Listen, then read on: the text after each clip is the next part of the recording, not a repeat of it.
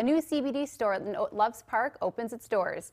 The Hemp Center on Broadcast Parkway between Mulford and Perryville is the second store in the state line centered around supplying customers with an assortment of CBD products.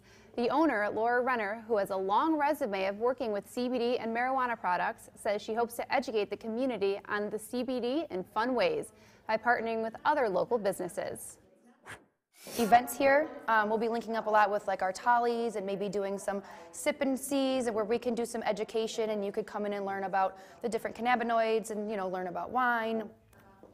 The Hemp Center's website is expected to be up and running in a week.